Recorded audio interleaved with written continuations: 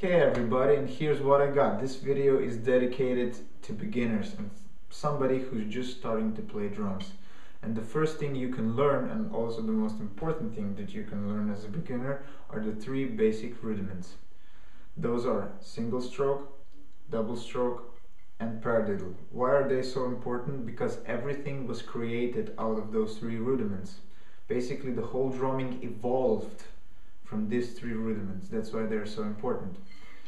So single stroke, it's nothing special, just ref, uh, right, left, right, left, right, left, right, left. And you repeat this um, over and over. So it's important that you start slow, that you uh, that you focus on your strokes, that they're um, nice and clear, and uh, your left and right strokes are allowed at the same level. So let's do the single stroke.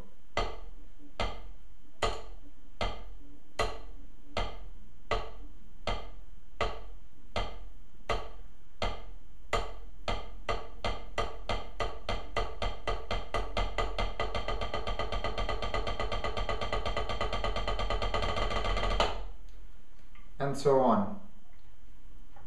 Now don't try to play them fast immediately because it takes time to develop speed, especially time, patience and of course practicing to develop speed. So uh, don't get frustrated, start slow. That's really important that you start slow and don't get bothered by uh, wanting to play fast. It's important that you have control.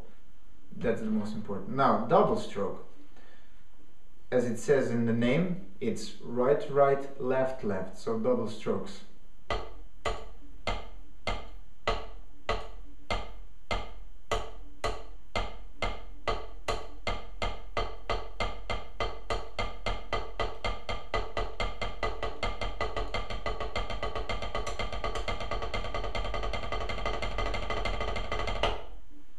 Those are double strokes and the last one is the paradiddle. The paradiddle is a combination between a single and a double stroke. It is right, left, right, right, left, right, left, left. So let me demonstrate that for you.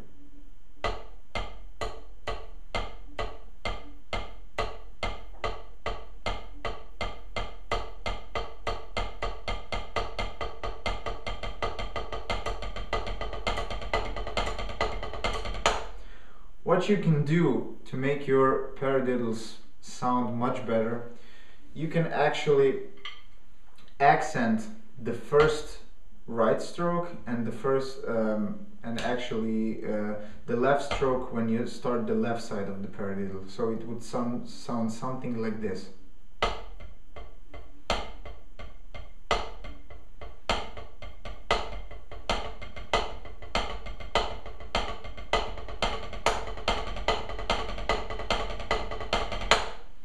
Paradiddle sounds much better, especially when you will practice it on your snare drum.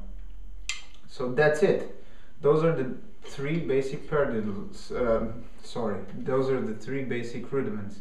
Practice them constantly.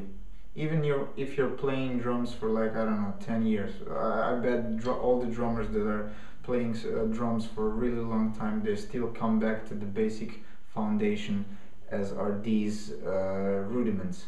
So it's really important that you practice them constantly so you will bring the blood in your hands. When you master these rudiments, uh, you will get cool ideas how to uh, combine them with different rudiments, how to uh, play combinations of singles, doubles or paradiddles, uh, paradiddles in very different ways.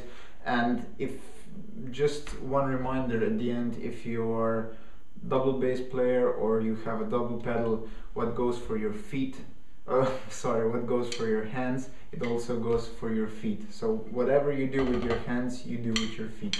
It, it's the same, uh, the same practicing routine. Uh, and you will get ideas how to practice them between your hands and your feet uh, so you will come up with some cool combinations. Thanks for watching this video. I hope you find value in it and please subscribe to my channel and close this video and start practicing. Bye